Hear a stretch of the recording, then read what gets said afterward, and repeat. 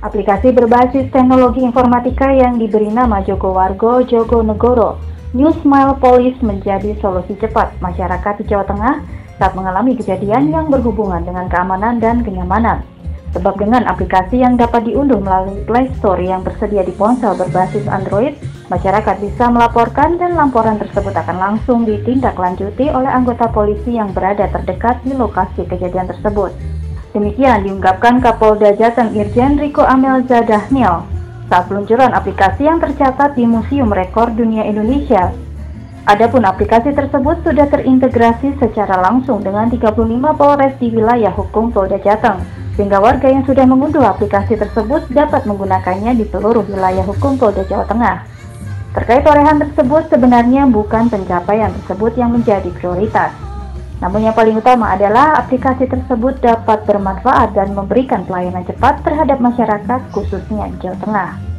Dalam peluncuran aplikasi yang juga dihadiri pimpinan redaksi Suara Merdeka Gunawan Permadi, Kapolda membeberkan selain digunakan untuk melapor atau meminta bantuan, masyarakat juga dapat menggunakan aplikasi tersebut untuk memantau pengaduan yang disampaikan. Adapun Kapolda memastikan kalau aplikasi ini tidak akan disalahgunakan karena data masyarakat yang mengunduh dipastikan validitasnya. Kapolda menambahkan masyarakat yang menggunakan aplikasi tersebut sudah banyak. Hingga kemarin pada pukul 6 pagi tercatat sudah ada 93.456 kali diunduh. Jawa Tengah semangat! Sudah buka aplikasi Jogo, Wargo dan belum? Ono foto nih Bapak Riko ya Pak Kapolda. Kenapa ada ini? Karena ini untuk, untuk kita semuanya untuk Jawa Tengah. Sobat Ambiar,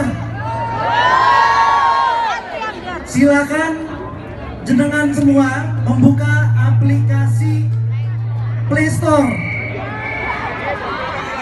Di situ tertulis aplikasi Jogo Wargo Jogo Negara Polda Jateng jenengan tulis aplikasi Jogo Wargo Jogo Negoro oke okay? Seperti diketahui, aplikasi Jogo Wargo Jogo Negoro di Google Play Store juga bisa diakses seluruh jajaran Polres dan terintegrasi dengan berbagai instansi seperti DPRD, Pemprov Jateng, Damkar, Badan Narkotika Nasional, dan Badan Nasional Penanggulangan Terorisme. Layanan tersebut meliputi fitur panic button, e-learning, e-babin Kantipmas, Trust in Complaint, e-police, e-tilang, dan e-smart.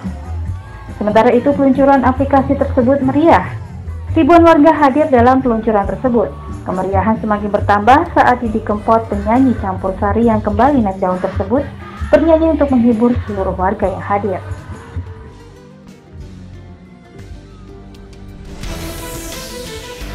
Dari Semarang, Eri Budi Prasetyo, Suara Merdeka, TV.